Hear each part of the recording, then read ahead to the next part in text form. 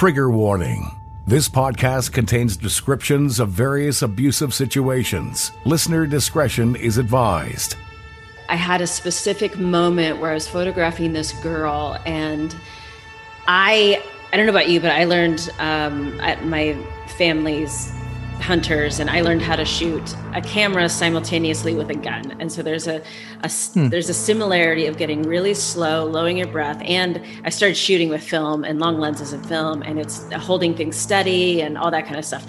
Um, and I hold my breath when I shoot, which is a terrible habit, but it keeps the camera super steady and it can keep it uh, open, the aperture open a little bit more. When I do this, I completely zone out what is around me with the scent, with the sound, everything. And I just zone in on the optical, like the one dimensional. What's how is this going to look in one dimension? Not this experience that I'm having at this Playboy party. Like right here, without everything else, what is going to be seen here? And I just saw a flash of trauma in this girl's eyes.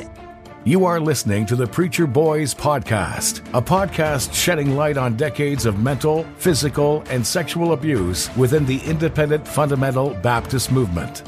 The testimonies shared on this podcast are told from the personal experience and perspective of the survivors. Not all legal outcomes are known or final. Any suspect is presumed innocent until proven guilty in the court of law. To find more information about the Preacher Boys podcast and upcoming documentary, visit preacherboysdoc.com or connect on Facebook, Instagram, or Twitter with the handle at preacherboysdoc. Now, here is your host, Eric Skwarczynski. All right, everybody, welcome back to the Boys podcast. I'm so excited to have Emily Gaudreau on the show today. And uh, what a super interesting headline when I came across you for the first time. Uh, when you hear, you know, former Playboy photographer and now, you know, advocating against, you know, the danger of pornography, kind of pornified culture those two things don't really go together. So it seems like there's a lot of uh, a lot of area to cover in between. But uh, can you just tell me just a little bit before we get into that, even what your background is, how you kind of started your career, and uh, how you ended up kind of traveling and and working? Okay, so um, hello everybody, and the background. I mean the the Playboy story. Um, which is like the meat of it. Everybody wants to know that. But I used to be a commercial photographer, advertising, editorial. Um, I worked for Rachael Ray. I did work for Bill Gates. Um, and I, you know, I went to art school in the UK. I ran away, um, like literally ran away and went to the UK and ended up going to school there. And being a photographer was a good way to travel. Totally worked. And uh, 2008 hit, and I uh, all the ad agencies were hitting a wall with their money and their mm. budgets and playboy called me up saying that they had a gig in albuquerque so they flew me out and i was like heck yeah like this is playboy i you know at that point i was just anybody with a big name you know i was con- right. creating this like what I thought was this awesome resume of you know big players and Playboy is a big one, and to have them call you um, right. out of the blue. I've never, I've never put a bid on a job or hmm. anything like that. Um, and to do, to shoot an event. And it was, it was actually uh, a really interesting photo shoot because two things happened. One, it pretty much ended my career. Hmm. Um, mm-hmm. And I'll go into that in just a little bit. And then two, the people that worked with Playboy, it's very clear that they are very um, and I don't speak positively about anybody that produces porn very often, but Playboy does a very good job of hiring people who are um, th- probably some of the nicest people I've ever met. Hmm. And it was odd because I wish I had met people like that before at the beginning of my career. You know, photographers are like chefs. It's like we're standing on ladders with megaphones yelling at people about lighting. Yeah. Um, and these guys weren't like that it was obviously it's obvious that, that they pick they're very selective of who they bring in to work um, and then um, yeah i had i had a, a moment where i realized that these girls I, I had kind of bought into this idea that sex workers were there by choice most of the time um, and especially at Playboy, you know, that they were making money and using their body how they wanted to. And that was their right. I don't care. You do your work, I'll do mine. I've got no problem with that. And that's not what I saw in those girls. Right. It was different. Um, it wasn't, um, it wasn't this you know, I've been to burlesque shows, obviously, and that kind of thing, where it's just like this body love, and um, that's not what was happening. It was, it was hard. It's hard to say what it was, but something definitely wasn't right. And I went home and I put my camera away, and I never photographed anything again. Hmm. Even, even my Instagram, even taking crappy phone photos. oh my gosh. So, well, so, so I gotta. Right I'm like, it makes me sick to my stomach. Right. So, uh, I mean, I have to ask. I definitely want to dive into that a little bit more and kind of what it was you felt or saw, um, because I know there was a, an exact moment that kind of triggered yeah. that. But, but um, just backing up and partially just kind of interested, and I I share some of that of you know traveling and photography and and video background. Oh, yeah, that's right. Um, you do video too. Right. So, um, uh, one, I'm just curious, like and, and I am going somewhere with this, but I also want to know like you traveled around like Africa, you were in the UK. What were some of the places that you were you actually went to and what kind of photography you're doing? Was it a lot of like ad stuff or was it more just journalistic? It was you know? it was journalistic and it was basically so it was right after 9/11 and I went wherever there was a what is it the where the US says don't go there. That's where we would go hmm. if the US put a ban on going there. So we were in, uh, I went into Nepal during, um, they had like the, the Nepalese government and the Maoists. There was the civil war there, so I went to Nepal and photographed that. Um, and I went to Muslim East Africa right after 9/11, and to Zanzibar and kind of photographed the celebration, basically that they hmm. were celebrating the twin towers going down, and um, yeah, and then I tried to sell my photos. Right. I was shooting film. right. That's the days of film, you know. Um, but uh, yeah, I was being sent out to go photograph atrocities. Yeah. And I hit I hit a wall and um, I was like, I can't. You know what it was? I'll be honest with you. It was one specific time, and it stopped the documentary work. Um, I was in Nairobi and I was asked to get if it was i don't even remember who it, what station or where i was like trying in contact with whoever associated press whatever and they said get photos of um, the riots that are going on down there. And there were no riots. No. there was like stories of americans being drugged by trucks and all this kind of stuff and um, i actually i said well there was this comedy show where this black guy had his obviously he's like kenyan and had, he had a white face and he was pretending to be a stupid white person. Yeah. And um, so it was a crowd in the street and they were all cheering and, you know, jumping up and down. And they said, well, send us one of those. That'll work.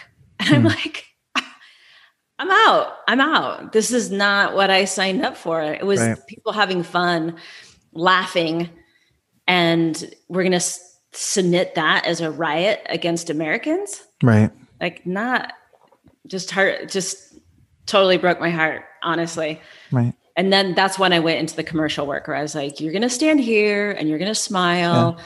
and more uh, control a little yeah, bit of what you're doing. Yeah. It's like I call it hunting versus gathering. I'm going right. to gather this scene as opposed to hunt it down. And yeah. you only really get paid for atrocities with editorial work. So, right. Yeah. No, I come from kind of a nonprofit background, and that was kind of one of the things that I just personally set up pretty early on. And the guys I worked with were in this mindset as well. But I just said, like, I don't want to just take pictures of, you know, the naked kid bathing in the gutters. Like I want to show the right. kids smiling and like living life. And and if someone was going to come here and take a picture of me and my family, even if we are in the poorest of situations, like how do we want to be rep- represented? Um, yeah. And yeah, it's it's something that I think, um, you know, I, I speak, you know, of American photographers. I think a lot of times even organizations that are trying to do good stuff they look for you know what what you could call like poverty porn. Like, what's the worst thing Thank we can you. show? Oh my gosh. you know? Yes. And so many times people are like, oh, I want that picture. I want to have it on my wall. I'm like, you don't know them. Right. That's weird. Yeah. Like, yeah. this, like this old person in Cambodia, you want a picture of them on your wall? Right. That's weird. That's super weird. Like, Yeah. you know, in a magazine, I mean, that's a little bit better, but as for eh, that part of it, I just couldn't, I couldn't get around that either. And that's why I was like, like hunt, like going out and photographing homeless people and Yeah. strangers and It's a weird gray area of like yeah, kind of moral gotta- gray area. Yeah. Yeah. But uh, but yeah, I was just I was curious to get some more background on that because you touched on it in a couple interviews I'd listened to, but I was curious where all you had been. Um, I've been to Rwanda, so that's the only Ooh, part of East. Africa I've been to. Beautiful, like honestly, beautiful country. And because of photographs I'd seen from there, I was like not looking forward to going. I was like, sca- I was like, is it going to be scary? Is it going to be like, and super beautiful place, super kind people, and just a really cool experience. I had the same uh, situation in Uganda. Hmm. Lush, beautiful. We, you Yeah. know, we saw the mountain gorillas and um, just wonderful people, and it was amazing. Yeah. Just- but I was so flipping scared. right. it was like we're gonna get beheaded at the edge of the Congo or something. but- Sure.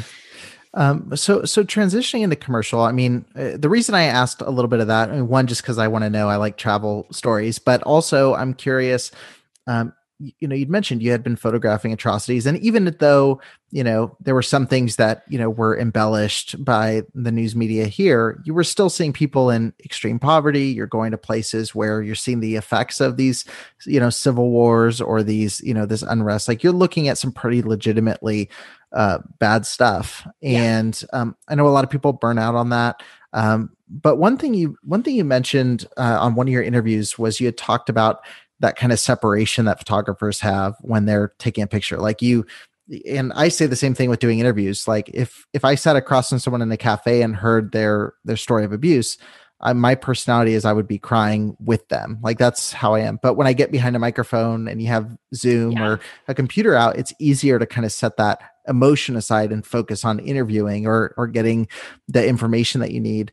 Um, but there was something that happened. So outside of all these, you know, atrocities that you're looking at, going into the corporate world, you're in a controlled environment at a Playboy party, which you've kind of said is is as the classier side of that industry Right. Yeah. um, and and pretty controlled. Um, but you saw something where that emotional side slipped in a little bit. Can you just talk about that that moment and that photograph that kind of you know changed your perspective a little bit? Yeah, so we were um I mean gosh, I don't it was basically shooting a party. Right. Um and I had I had a specific moment where I was photographing this girl and I I don't know about you, but I learned um at my family's hunters and I learned how to shoot a camera simultaneously with a gun. And so there's a Hmm. there's a similarity of getting really slow, lowering your breath. And I started shooting with film and long lenses of film and it's holding things steady and all that kind of stuff. Um, and I hold my breath when I shoot, which is a terrible habit, but it keeps the camera super steady and it can keep it uh, open, the aperture open a little bit more.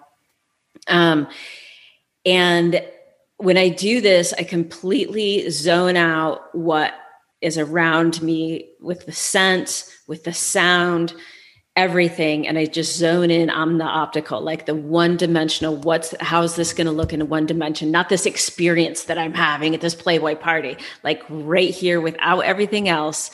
What is going to be seen here? And I just saw a flash of trauma in this girl's eyes. And it's one of those things where you know as as a photographer you're photographing my like 160th of a second pieces of time. And i caught it. I caught that look in her eye.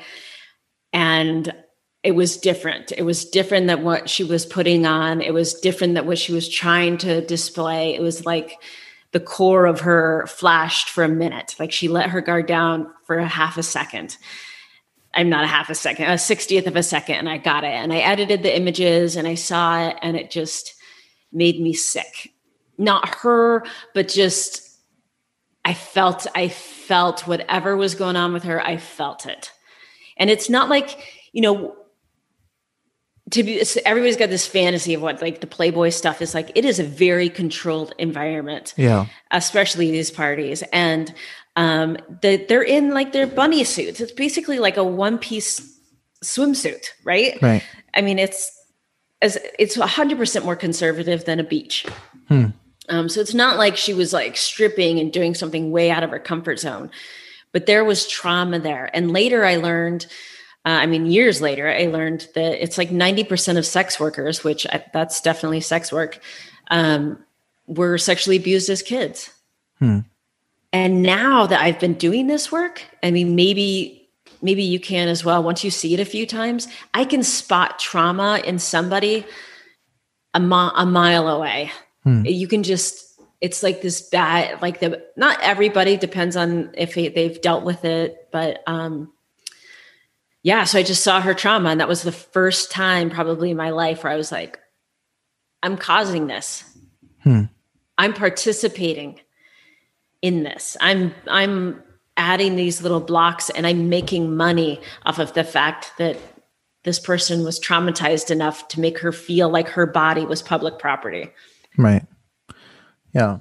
And yeah, I, I think what's interesting about that is like prior to that, your uh, you know because i think sometimes people hearing this and this is this is something where even my audience you know we talked a little bit beforehand even my audience i think there's different views on you know this industry there's different views yeah. on you know there's some people who would say like you know it's pure liberation like it's it's a positive thing um, but you kind of came at it from that angle and up to that moment would have been on board with saying that you would have said like yeah this is awesome totally. it's you know women's liberation and you know uh, fill in the blank and in that moment even though you may not have at the moment identified what it was, you felt something that made you feel like off or that something was wrong.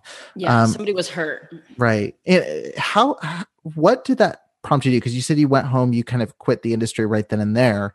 But what was it that made you start investigating like what caused that feeling? When when did you start looking at, you know, statistics and and start diving into this? Honestly, it wasn't my daughter. And I had had a few people in my life tell me things that had happened. And, you know, and then I started having, you know, when you have kids, this weird thing happens where suddenly things you never questioned before like start coming back. And, you know, my best friend in grade school was sexually abused by her mother. I had complete, completely forgotten about that. It, it wasn't even wasn't part of my collective conscious until I had my daughter, and I was like, "Whoa!" You yeah. know, her mom would do stuff to her and tell her that it was um, because she was so mature. And then my friend would tell me, and I'm like, I don't like, gosh, my nobody does that to me. And she's like, Yeah, that's because you're not mature enough. You know, and I thought, oh, like, oh, I'm like this nerdy kid that nobody's doing these things to me. And I'm like, oh my gosh, I was being groomed hmm. through through this my friend who was being groomed. Yeah. And then with the stuff online and um, somebody I knew their daughter had contacted a pedophile and was expected to meet up with him.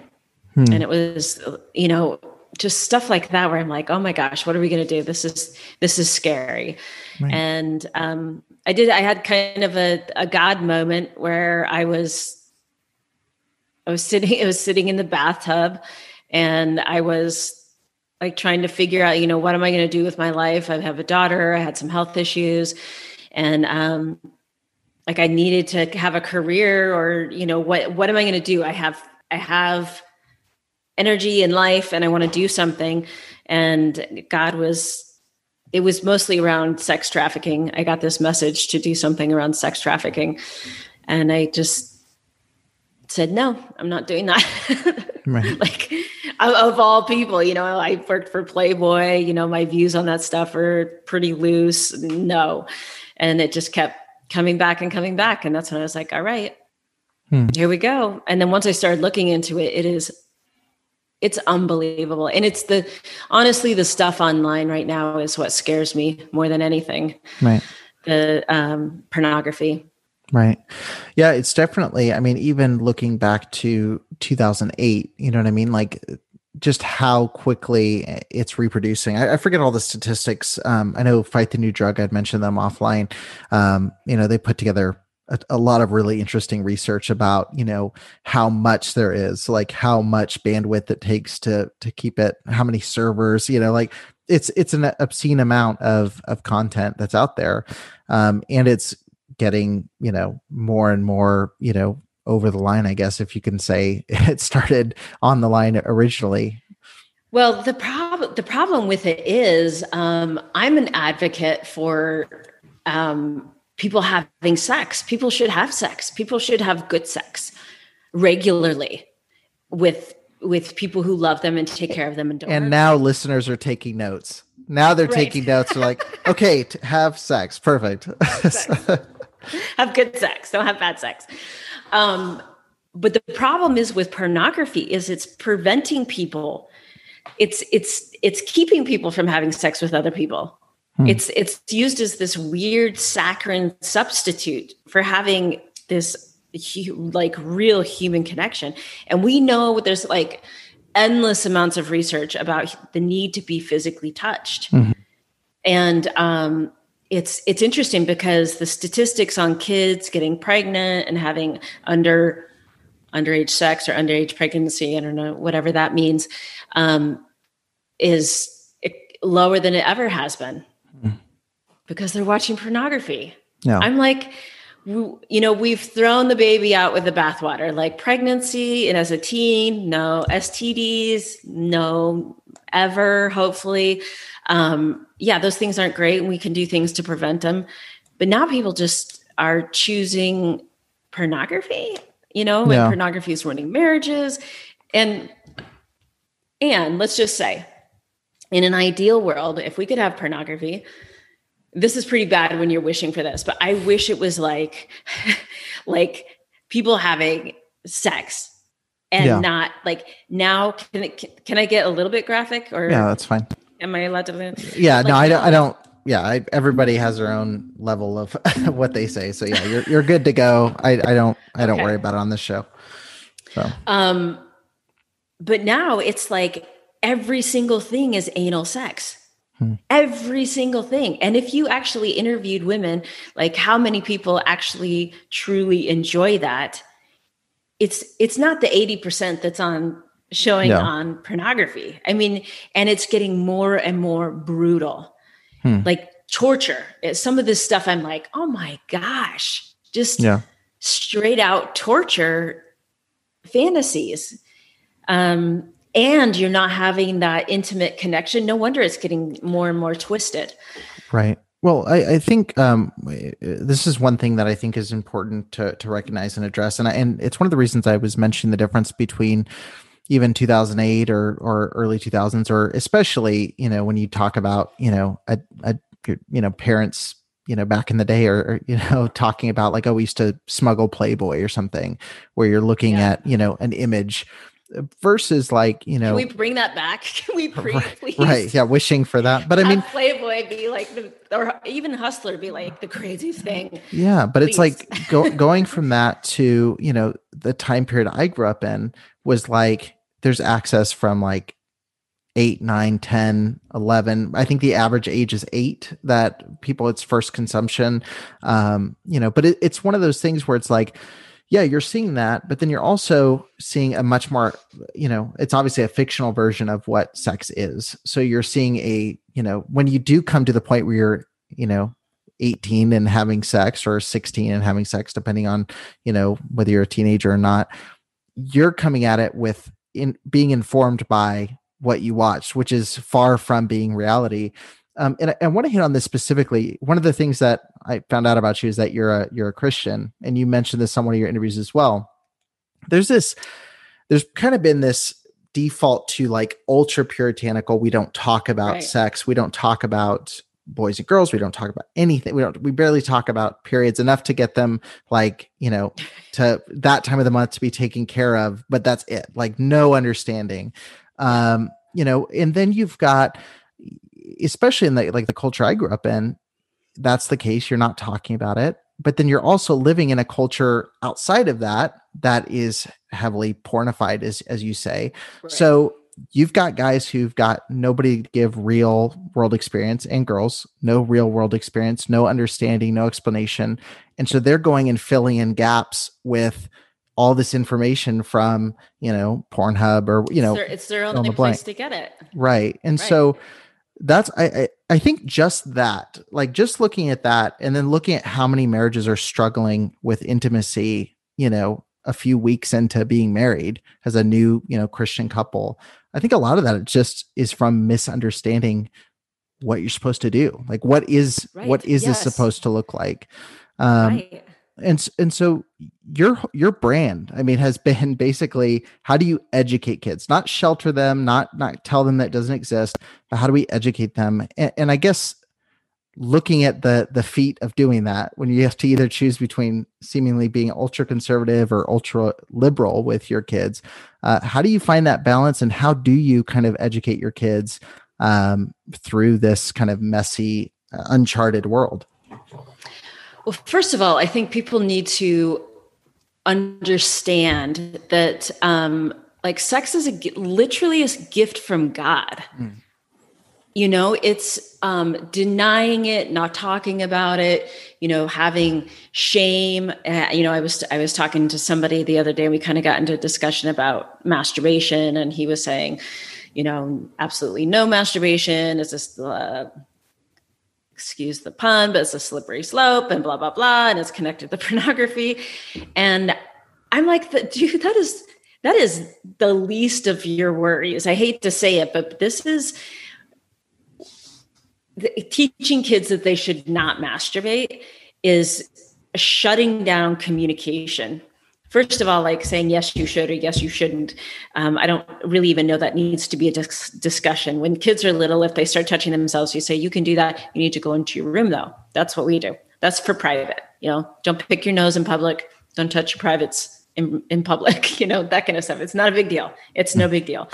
Um, but i think that a lot of uh, religious organizations need to understand that in order for marriages to be successful there's like you were saying there's there's real trauma that can happen when you have a completely uneducated couple coming together for the first time hmm. you know and if if it's been this like they can't even hold hands i mean it can get really extreme in different um in in different groups and people even if they're not going to be having under underage sex or premarital sex, they still need to understand it.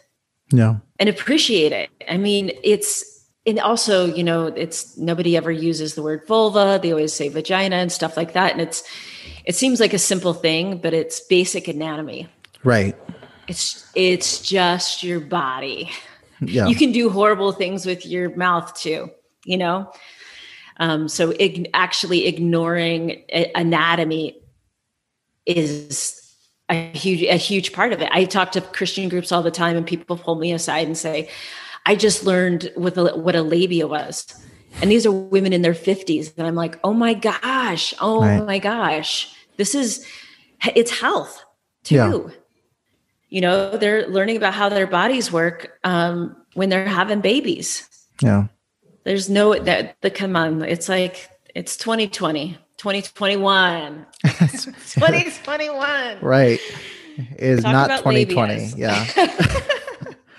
There's our episode title. Great. So, but uh, but no, I yeah. So so kind of kind of diving into that. I mean, one of the one of the things you do, and I I don't want to have you talk too much about things you you cover pretty often, but I think this is really interesting because one of the I have a three year old, and and one of the big conversations is just you know yes you want to educate but you also don't want to give more information than needed or yeah. you know or you know scare them you know like we we often talk about you know like the whole stranger danger stuff or like telling mom and dad you know don't keep secrets that kind of stuff. But like it's it's one of those things where you also don't want to you know scare her about like oh what is so and so doing? or why is this person here? and you know all that kind of thing. But you have a really good way of talking about um you know kind of predators with your kids and talking about potential danger. Um, can you talk about the zoo trips and kind yes, of explain okay. uh, how that works? I think it's a really brilliant way to explain it to really any age group. Okay, so the I mean you pretty much nailed it. The biggest problem that we run into is how to introduce concepts of safety at a very, very early age without too much information. Like even the stranger danger stuff. I don't know if you've noticed that stuff backfires. Yeah. You know, and well, and it's it's, it's a small piece of the puzzle. It's like yes. I think what seven percent or five percent of all cases are with strangers. Most Yeah, most cases of abuse low. are with someone you know. So Yeah. yeah it doesn't yeah and plus you need to learn how to talk to strangers so what i do is um, we start with their understanding. We meet them where they're at. And usually i have there's there's three different levels with kids. Um, from like one to seven they are closer to the earth. I would say i'm going to get a super hippy dippy with you. Um, and they're into animals and they understand the natural world a lot better. Then when they get older from like seven to say 12 um, they are into the social element and then beyond that it's more of the cyber interest. Is- that's kind of the trajectory that we're on right now. So with kids when they're really little we talk to them about um, stalking luring and mimicking. And we do that by talking about animals. So we go to the zoo and we say, look at that, that tiger's stalking the other tiger. It's laying low, it's watching, it's making sure it's not seen. Um, and you don't you don't talk about it much more than that. You just add those vocabulary words in, you know, into your vernacular. Look at the cat stalking that bird. Uh, luring. I do this with my daughter all the time. Go get Annie something she really likes and lure her in. She, I can't get her in. Go get something and lure her in. Get her to do something she doesn't want to do. You have to get something she wants. Um, and mimicking is camouflage. So any animal that is uh, camouflage, oh look at it, it's tr- it's pretending to be something it's not. It's it's trying to be something it's not, so we get closer to its prey. Then when they get older and they're more in you know kind of seven to twelve age, then they're going over to friends' houses and stuff like that. You can introduce the idea of humans being predators too. So we're talking about predators all the way along. This is how predators behave. And people stalk, lure, and mimic. Hmm. They can if they're predatorial. And then when they're in the cyber world and they're online, people can stalk, stalk lure, and mimic. That's how predators work down down to the most primitive species to what we consider ourselves the most advanced in technology. Those are the methods that are used. There's more there's more. There's blackmail is another one um, that as kids get older they need to understand how blackmail works because that's something we're dealing with a, lot right now as kids sending being convinced to send nude photos. And then if they don't continue to send new photos then they're the boys especially with boys will you know will let your parents know that you're sending gay porn and you know just it just ends up being a really bad bad situation Right, right. Uh, what what are maybe some resources Just what I'm thinking about. What are some maybe resources that you think would be helpful to people who are kind of breaking this down, or or do you have this in some kind of written format for people to to check out?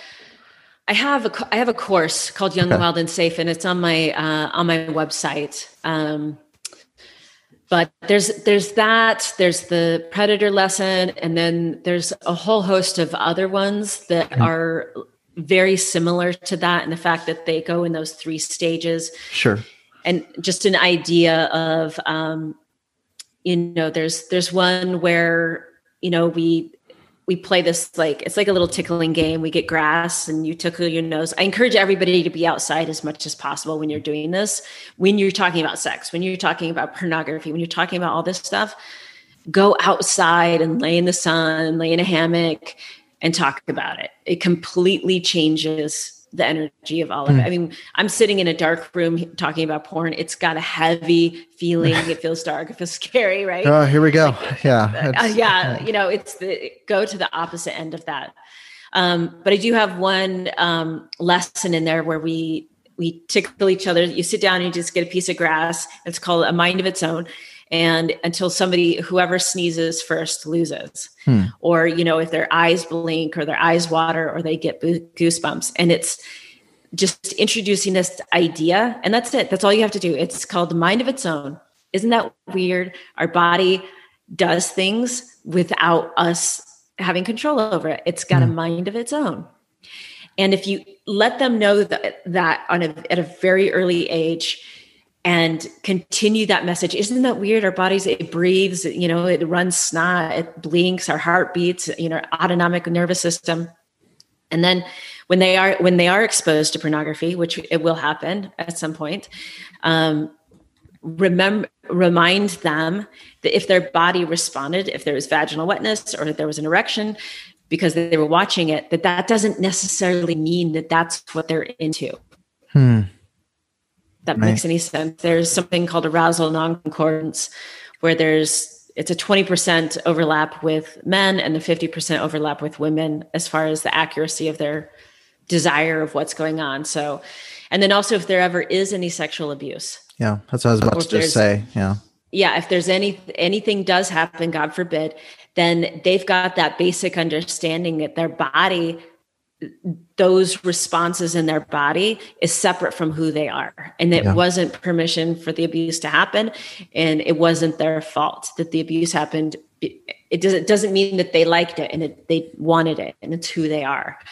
Yeah. it's the number one thing that therapists have to work with people years and years later is that piece yeah. No i, I spoke with uh her name's Dr. Kelly Palfy. She wrote a book called Men Too, um, and she talks about male sexual abuse. And that's one thing that she, I forget the term that she uses to describe it, but she talks a lot about that. Um, and one of the reasons that men don't report is that, you know, if they did experience like an erection, if they did experience anything that felt good, even though it wasn't, you know, even like she said, yeah. people could literally have a gun to their head and still experience things that are signs of pleasure in a normal situation you know a lot of times abusers will use that as you know well look you liked it or look yeah. you you appreciated what i was doing or look you enjoyed it um, and so i think that's that's an important thing to go over and i don't hear a lot of people talk about that stuff um, I, yeah. again just just going in the abuse route i, I was watching a, a, documentary just last night uh, called i am evidence um, i'm just throwing out recommendations left and right but uh, yeah. i am evidence is a really solid documentary um, but again watching through that like you know there's just so much around how we perceive you know abuse like how what we actually classify as as abuse or or something that's negative um it's just a really uh, there's just a lot of really big misunderstanding out in just general culture about how we tackle these topics. You know it's i i hadn't a you know as as I, i'm constantly learning because things are changing regularly now but um, i kind of have a little bit of an epiphany on why often there's you know a situation of abuse or rape or you know um, and they blame themselves. Mm. it's a it's a really common thing they blame themselves. And they're also blamed why were you there at this time? You know why were you wearing that? You know yeah. all all this stuff. There's this like i wouldn't you know they people hear stories and they're like oh I, she could have gotten away and she could have done these things. And there's this blaming. But what that is i mean i'm not saying for everybody but this is my current thought process is we believe that we have power in our fate and we believe that those things we we wouldn't do those things so we had the power to wear different clothes to de- be different places when really a lot of this stuff is happening at random mm-hmm. and if a victim believes that they have power to have done something different they they can stop it from happening again they hmm. have to believe that it's their fault that they did something wrong otherwise how do you even exist in life knowing that it could happen the next day? You're walking from the house to the car. I mean it really was a random act so it's a coping it's a coping mechanism essentially it's a coping yeah. mechanism. And then people people also saying well they should have done this or should have done that.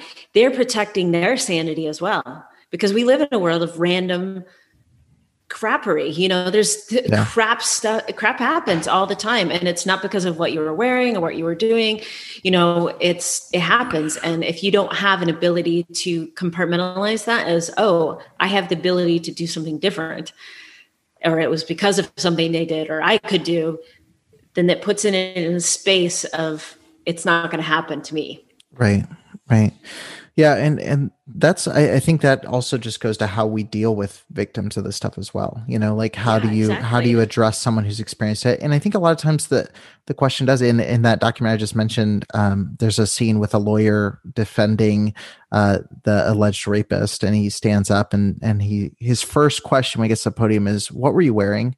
And yeah. you know, she says jeans and a shirt. What kind of shirt? You know what I mean? Like trying to dig into like what were you doing to cause this? Um, another shocking thing and this uh, some of the most shocking stuff in it was hearing from police officers and reports saying you know why they didn't think someone was credible. Um, but there's a I forget her name but one of the experts that spoke said um, you know i think it's it was 70% um, i think it was 70% experienced tonic immobility um, while being raped. So like the police would say, "Oh, well, they didn't fight back." So it's clear that they were okay with what was happening. It's clear it was consensual.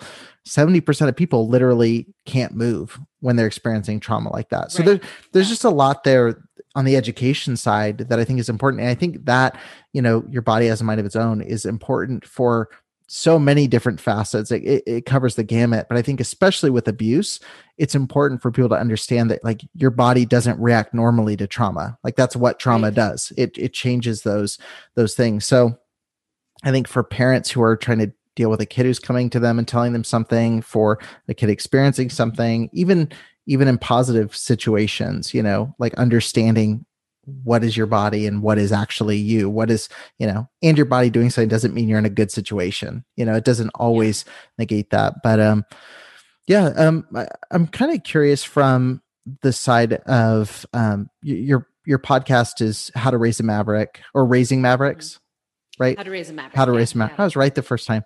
Uh so how to raise a maverick you're raising you know pretty free spirited you know kids and and trying to teach them I, I am curious, kind of, because culturally we have shifted. I think culturally at large, there's been a lot of blowback toward the porn industry, toward you know the manipulative producers, the contracts. I talked at length with um, the uh, fight the new drug people about this, and um, a lot of pushback there like a lot of stuff about human trafficking has come out a lot of stuff about coercion has come out. Um, i haven't heard anybody ask you this on any of the platforms that i've, I've listened to your, your interviews. Um, so the, the response to that you know from people who would say it's okay express your body the way you want to has been sites like you know onlyfans and like all of these mm-hmm. kind of self-produced kind of channels. Um, I know you said you're you're somewhat open uh, in that realm, and and you're you know obviously you've got issues with like large corporations profiting. Uh, what's what's your take on that kind of uh, development and kind of the the you know do it yourself production mode that's happening now? Well, the the problem that I've run into with OnlyFans, um, you know, it's it's not it's it hasn't been played out yet I mean, hmm. there's there's a couple of things. You have um, young girls. I mean, it's a sign. Are are they there because they want to, or are they there because of economic problems? Okay. Um, again, it's taking your people watching this. It's taking advantage of somebody. Hmm. You know, were they sexually abused before and they feel like their body is public property? There's that. Too. It's pornography is pornography in that regard. Hmm. Um, but we also have issues where we have um, homes where it's, some of the stuff is being filmed and mm-hmm. children are in the home. Um, and then we have young young people producing OnlyFans and having their family members because they can find them very easily um, following them.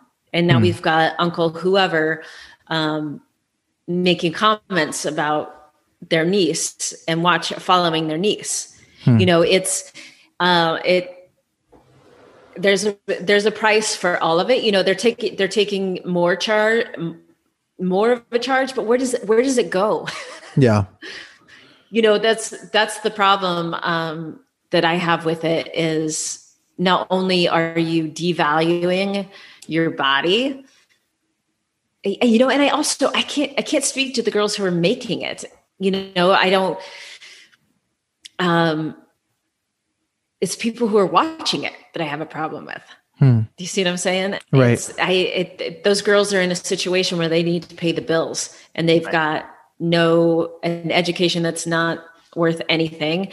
Um, they've got university loans that are sky high, and no jobs. Hmm. You know, we closed. We just closed all the bars down in New Orleans, where I'm at. Um, so, you know, what do you do? Yeah. yeah. What do you do? Hmm. Turn on your camera. Right. So it's it's taking advantage of somebody who's in an economic crisis. Right. It's the same. It's the same thing. Yeah. It's pornography. It's pornography. It's straight up pornography. Right. Yeah, I was curious to get your answer on that because that was one of the questions I had for Fight the New Drug because I knew, um, you know, they had mentioned a lot of like you know manipulative stuff, but the the the two sides of it seem to be, you know, the there's the people who are now heralding ethical pornography, mm-hmm. which is an interesting phrase in itself when yeah. you start looking at definitions. Um, but I'm always curious to hear just different perspectives on that and and know where people are coming from that. And um, you know, for people listening, I think sometimes they're like, you know, okay, it's wrong, it's wrong. But I think, you know, obviously my faith informs certain viewpoints on on some of that stuff and it, it's got some pretty clear things but i also want just for the people who want the data people who want to look at it and say like is this objectively like it, it, you know without any religious affiliation without right. any you know biblical side like is this harmful? Um and so that's why i was kind of curious what your what your response was there. So. Yeah um at the end of the day i had this discussion today with somebody else um and they were you know trying to it was a, a situation where somebody was filming fan, fans only um at home where there was a child. And they were trying to get it to where it was she you know she was talking about taking on the whole of the porn industry. And i was like you, you can't. I hmm, mean yeah. is, that's not gonna it's not gonna work. And i i if if we could stop all of it if we could go back in time and you know send hugh hefner in a different direction i would in a heartbeat but that's not where we're at. And um it's all for me it's all about protecting the kids. Right. And that's the that's the one space where we have a little bit of leverage where yeah. people most of the time will agree. There are some people who think that kids should watch pornography. Yeah. um, but for the most part most people say yes kids should not watch this yeah. And that's the uh, that's the the only space i really work with because i can't take on the whole of the porn industry. Right. Yeah. Yeah. That's like taking on the tobacco know? lobby or taking on yeah there's just some things that are are way too big. But yeah you can you can gate a little bit. You know you can be a gatekeeper on some of that stuff. And even more importantly, because a lot of people just opt to be just a gatekeeper, you can also explain and, and educate as well, which I think is important. Um, I, I, know we're coming near the end of our time, um, but I, am just curious for someone who's maybe sitting there, a, a parent, um, you know, specifically, I would say, who is sitting there and going like, man, we've dropped the ball. We haven't even started, you know, maybe our kid is, you know, three or four, you know, maybe even six, seven, eight, you know, there's somewhere along that line and they're they're sitting there going like crap we haven't talked about this. We haven't started educating our kids on anything. Uh, we were just waiting till you know we had to talk about it. Um, can you maybe give one resource outside of yourself that's that you found helpful maybe a book or, or something that'd be relevant and then maybe just tell people where they can find some of your content as well so like one one of yours one of like an outside yeah. So, one of the best books that I've seen for kids is Good Pictures, Bad Pictures by Kristen Jensen. And she has one for really little kids, uh, it's junior, uh, Good Pictures, Bad Pictures. Um, and then she has one that's older and it goes more into um, addictions and mm.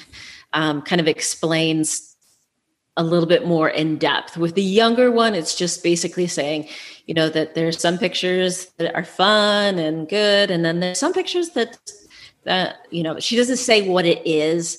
Yeah. Um, it's just kind of this introduction. I have a hard problem with the language around it. It's not good. It's not bad. Um, I prefer more of these are private pictures hmm. because kids have a very definitive way of looking at things that if I see this, I'm bad. And, right. you know, ca- you know, people don't watch porn. Kids don't watch porn. They get caught by porn. Yeah. you know, it, it catches them. It's it's not their fault. And every you know a lot of people say I'm going on a tangent now, but um, I know people say like, "Oh, my kid's a good kid. He would never look it up," and I'm like. You're you completely you're doomed. You don't. You're already losing if you're thinking you, that way. You don't, you don't get it. Your kid is not a bad kid if he looks up porn. And also, you know, oh my my son or daughter, they get really weird and squirmish if we talk about anything to do with sex. And I'm like, of course, because nobody wants to hear about sex anything from mom and dad. of yeah. course. You think they're going to be curious? Yes. Like they're not most likely asexual. Yeah. Wake up. Right. Yeah. It's a, it's a, it is, it's a matter of when. Um, it's, it's a, you know, I, I was telling my wife, you know, not too long ago. I was like, because I'm very like strict about like you know the tablet stuff, and like I, I just get freaked out by it, and I'm just like, the, the first time that I ever saw porn was totally, it was not me searching it out. You know what I mean? Like yeah. I wouldn't have even known to search Either. it out. You know, and yeah. and same with same with most of my friends who I'm not going to name them or, mm-hmm. or out them, but you know, a lot of my friends, same thing. It was like, oh, we found this, or oh, and it was that's going to happen it's it's like you said it's not a matter of if it's like when and are they prepared to handle it or to talk about it when it happens? Um so i will give one little tip that's been a lifesaver for our family is figure out how to put um, to lock them into an app. Hmm. and this is really good with the younger kids. Um, so i have my iphone set up to where I, I push the the home button three times and it locks it so my daughter can't go into any of the other apps. It's a lifesaver. And then you can also you can do it on the tablets, whatever, and then you can put a timer on it. Hmm. You know that they're not going to be searching around. YouTube Kids is not a good place. PBS Kids is great for if you want them to just be able to. Yeah. If you want to be able to get yeah, like a lot a slips through on YouTube Kids. yes. yeah, but yeah. I can laugh about it because it hasn't been a problem. I've seen it. I've seen yeah. some of them. Just like, oh my god. Yeah, PBS Kids is our go-to for sure. That's a pretty yeah. awesome section. So, but uh, yeah, that's awesome. Um, I'll throw out one more recommendation as well. Um, just more on the on the predator side, but God made all of me is a is a mm. really good book. Um, my one of the thing I love about it is it it it it does go into like good touch bad touch a little bit but it, it goes into more grooming specifically. So it talks mm. about you know keeping secrets. It talks about it goes into playing doctor. It goes into it goes into a lot of just like what's good what's bad who's good to keep a secret with who's bad to keep a secret with you know all of that. Um, it's just a really really good book. Um, and so yeah i'll just throw that out to the audience as well. Yeah, uh, cool. it's a really good recommendation. But uh yeah, I, I appreciate you coming on. Um, what's what's the best place for people to find you to connect with your podcast, with you in general? How to raise a maverick.com is probably the best. Um, that's my website. I have the podcast there, and then everything kind of fans from that point. Perfect. And then my podcast can be found everywhere. And my my podcast is a general parenting podcast. And we're debating on whether or not to go more specific. I was inspired by your podcast because I'm like super niche, and right. um, mine was mine's sneaky because I'm like nobody's going to come on and listen about sex abuse prevention, but um, so I like sneak it in when people are looking for general parenting stuff. Right yeah. Coy no. like that. Yeah you'd be surprised. I mean i think it would be a cool it would be a cool niche to kind of go into. And i i mean it's super helpful. Like i'm always looking like i said i'm always looking for stuff for just being a parent myself. It's it's hard finding resources that are actually this valuable. is, this is got this has got to be the hardest time. I mean granted you know we don't have polio we don't have i mean we've got covid but you know it's not affecting the kids and we do have COVID or we don't have COVID, whatever, whatever the COVID situation is. Um, but uh, this whole situation with pornography and the kids and sexting and texting and and now um, people are locked indoors, so it's amplified right. a little bit. Yeah, more. and for the reports of sexual abuse or children's sexual abuse reports are down forty percent, hmm. meaning it's happening. It's just not nobody's catching them now. Right. Right. It's heartbreaking. So well, well, thank you so much. On a positive for, note. yeah, on a positive note, right? No, but uh no, thank you so much for coming on and, and for sharing. And you've got a really, really unique story and I, I think a really helpful, balanced approach to this. So I really appreciate it. Cool. Thanks. Anytime. Thank you for listening to the Preacher Boys podcast. If you appreciated the content on the show, please leave a review on iTunes and don't forget to connect with us on Facebook, Instagram, or Twitter with the handle at Preacher Boys Doc. Additional information can always be found on preacherboysdoc.com.